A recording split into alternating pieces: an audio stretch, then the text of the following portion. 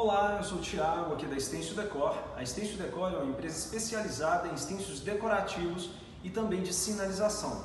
Eu vou apresentar nesse vídeo um material utilizado nos stencils de sinalização. Esse daqui é um material de 2 milímetros e esse daqui é um material de 1 milímetro. A vantagem do nosso material plástico é que ele não quebra, ele dobra, mas ele não quebra.